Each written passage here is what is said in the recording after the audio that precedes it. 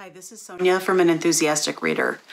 I haven't made a video in about a month wrapping up what I've read, so I thought today would be a great day to do a Friday Reads and catch you up on some of the great books I've read between a month ago and now. Okay, the first book I want to talk about is a reread of Pride and Prejudice by Jane Austen. I've read this book numerous times in the past, over the past, you know, 25 years, and I felt because I listened to the audiobook this time, narrated by Rosamund Pike, that I really had to take time to listen to all of it. And sometimes when I reread something, I don't know if you do this, but my eyes will kind of skip ahead to where I'm really looking for the meat of whatever was happening in the scene, not really letting every single sentence kind of sink in. And this time, because I was listening to it while I was walking in the mornings, I really felt like I got and absorbed the story more and understood that it was a setup from the very beginning. The plotting was so intricate that, you know, she laid out the logic of the plot at the from the very beginning and seeing how silly the father was and and really how desperate uh, Mrs. Bennet was to get her daughters married because there wasn't anything there to support them. I mean, they would be at the mercy of family to take care of them once uh, Mr. Bennet died. So even though she was frivolous and and tiresome and bore, uh, pedantic, you do really have to kind of care about her and her worries for her offspring because she only had daughters and they would not be getting the estate. So I really enjoyed it. I'm so glad that I listened to it. I read the first book in the Inspector Lynley series called A Great Deliverance by Elizabeth George. And I'm so conflicted about this book because I really do like the premise of this aristocratic detective, and he's got a pretty troubled past. Um, so he's an interesting character. And there is another side character that's going to be his partner, and she has got a lot of problems too. And where my conflict for this book came is that the treatment and depiction of women and hysteria and their psychoses and pathologies are so dated and very confusing that this woman wrote about these characters with such a disdain for women it felt. And i'm i've heard such great things about the series so i'm kind of waiting to see if you know something that was written in the 1980s develops. And she's still writing novels in this series now. Like do these characters develop? And does the understanding of how women think and how they function in society change over the course of the series? So I'm going to give it a couple more books and see what happens because I do like the writing and I do like the intricacy of the plot and the characters, but I'm concerned about how women come across. I'm really excited to tell you about this next book that I read. It's by Ernest Gaines, and Ernest Gaines was born on a plantation. He was born in the 1930s, the fifth generation of a sharecropping family. So he was born and raised in Louisiana on a plantation and lived in the slave quarters. And he has written a whole bunch of novels. And the novel I want to tell you about is the autobiography of Miss Jane Pittman. And this story is based a little bit on his aunt who took care of them when and raised a whole bunch of children on on this plantation and apparently she was disabled and did not have um, the function of her legs or her, they were even missing. And she was able to raise all these children and she was this strong incredible woman in his life and influence. And she apparently influenced the character of miss jane pittman. The book was written in 1971 and it takes place from emancipation all the way through the civil rights movement. And you see her character aging. The setup of the novel is that an academic is interviewing her I think he's a documentarian. He's interviewing her for his documentary. And so he has this little tiny appearance at the very beginning of the text, and then you never hear or see from him again. The entire rest of the story comes from Jane herself.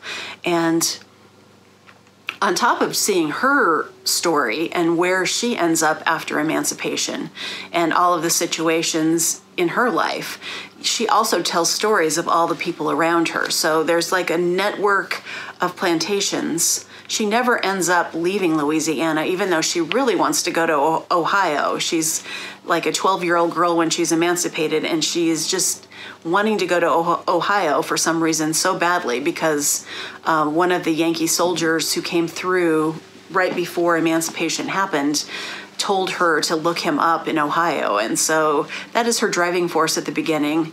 But then you get to see how that that really doesn't work out and the whole rest of her life unfolds.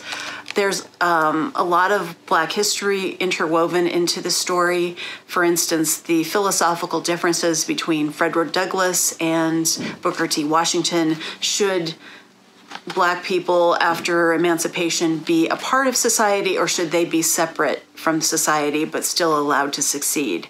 And so things like that. If you had a book club that wanted to know more about the way that uh, the history of America unfolded after emancipation, both black and white, this would be an excellent book. And on top of all of that, she's just a really vibrant, funny, feisty, and very smart person.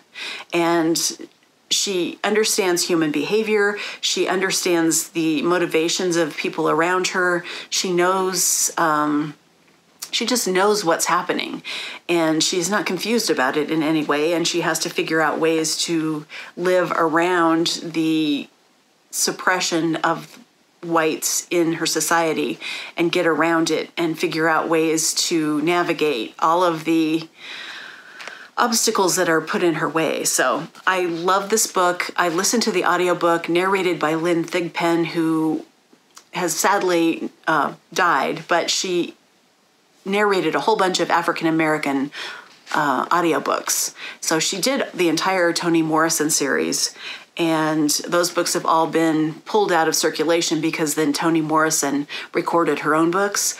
But if you could ever get a hold of a Lynn Thigpen narrated novel, I think you would be in for a huge treat. So uh, this was a five star book for me, and I think uh, it has a lot to offer in terms of just a very simply told story of very intricate and complicated people. The next audiobook I listened to was In the Dream House by Carmen Maria Machado. I'm so glad this book got published. It's really important to normalize stories of relationships between all kinds of people and all orientations and all genders, and it's important to do that. So the story is I mean, it's a memoir and it's written in a very unconventional style in snippets. Like that is one of her hallmark ways of writing stories and and memoir.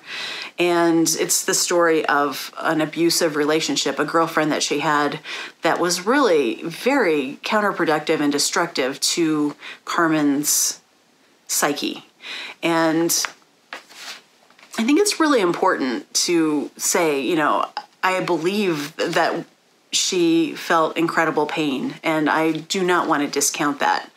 Um, I had some trouble with the writing itself. I thought it was a little bit overwritten. I felt like some of the metaphors and were forced and a little bit ham-fisted. I think she was trying too hard in certain parts to craft something out of her story. So if I were her editor, I probably would have convinced her to pare back on a little bit of that. However, I think it's an important story. I know and, and, sympathize with her pain, and I feel like I really understood where she was coming from, trying to figure out her life out inside and outside of this very toxic relationship. So um, I gave it three and a half stars, but I'm glad that she I'm glad we're publishing all kinds of different stories. Okay, the next book uh, is A Single Thread by Tracy Chevalier. This is the story of a single woman between the wars in England. She has a very unhappy mother who is a widow and she breaks away from living with her mother and, and forges her own life. And that's really what this story is about. She moves to winchester and she's a secretary but she becomes a volunteer embroiderer. That's a really hard word to say. I'm not going to say it again but she learns to embroidery um, cushions seat cushions and um, she creates this entire circle of friends and see, starts to see beyond the scope of how she was raised in, and broadening her society and she also falls in love with someone for a time and tries to get over the grief of losing her father and brother and her fiance in World War One. So there's a lot to it, but it's really it's like a middle-aged because she's almost middle-aged coming of age story. Um, her breaking out of all the patterns that she was raised with. Um, it's a conventional novel. It's but I thought it was really tender and I really enjoyed getting to know this character from the inside out through this short period of time in her life. So I, th- I, thought it was really successful and I enjoyed it a lot. I'm also very excited to tell you that I read David Mitchell's new novel called Utopia Avenue. It's coming out very soon, I think next week. And I loved it. I was very, I could not wait to get back to it. It's a very um, Mitchell esque novel. And if you've read David Mitchell, you know what I'm talking about. It is the story of four young musicians who are brought together by a manager to form a psychedelic band in London in 1968. So you've got um, mentions of the Vietnam War and the protests that happened in London. You've got how the band comes together and what happens to the band as a whole through over time. And then you get the backstories of each individual band member and the band manager. So you deeply get to know these five characters uh, and their stories. And David Mitchell always introduces characters from previous novels, and that is very true in this book as well. So, if you, I would say you would enjoy the book more if you've read The Thousand Autumns of Jacob de Zoet and the Bone Clocks because the things that happen in the Bone Clocks, if you remember what happened in that book, um, is definitely one's part of this novel. It's not the entire novel, but it is one part, and it might be easier to understand if you remember that part. I wouldn't say you need to go out and reread the Bone Clocks. I think if you have an, a pretty good memory of what happened in that book, you will get the gist. But Mitchell very um, succinctly captures the spirit of 1968 um, and all of the other musicians that were real bands at the time encounter this band. So if you are a person who doesn't really like it when real life characters intrude upon a novel, you might not like this. And not everyone will, but I thought it was kind of important if you're going to write a band a book about a fictional band that was alive during this time. I mean, you have to talk about the bands that would have influenced their music too, and talked about the just the spirit of that particular summer and what was happening in the world. Um, and so it's interesting because as a family, over the last few weeks, we were watching the entire Ken Burns Vietnam War documentary, and it seems like every single thing I read or encounter on television right now talks about the Vietnam War. And I don't know if I'm just more attuned to it because we spent like 18 hours learning about the war, but that was a great documentary series. So if you're looking for something that you could watch like one episode a night for a few nights just to kind of get out of your own head, I would highly recommend that. The last novel I want to talk about isn't coming out till October. It was supposed to come out this summer and apparently they pushed the publication back.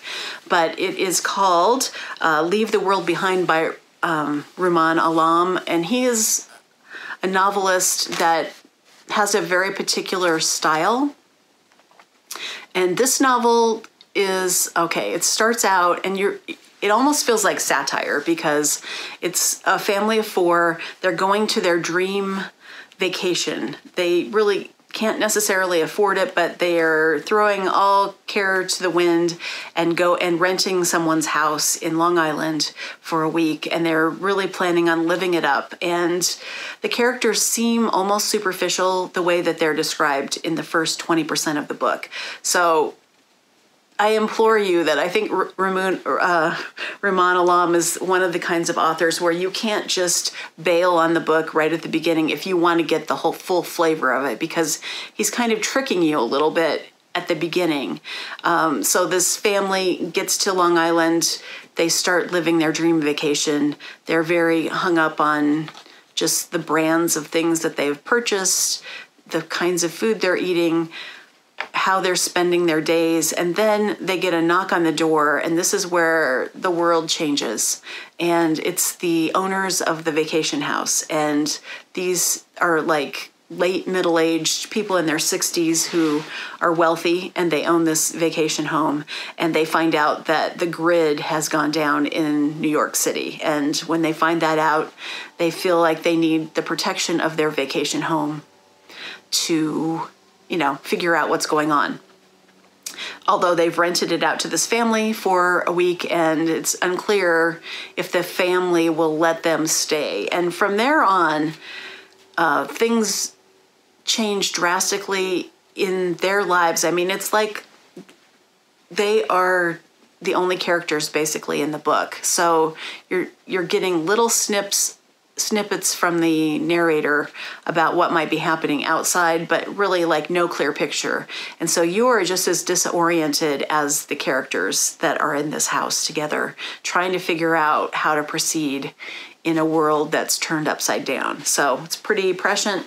Um, I think it's interesting because I saw Alam tweet the other day that he's not at all worried that a very, very famous author is also coming out with a book about the grid going down in the same month that he's publishing this book.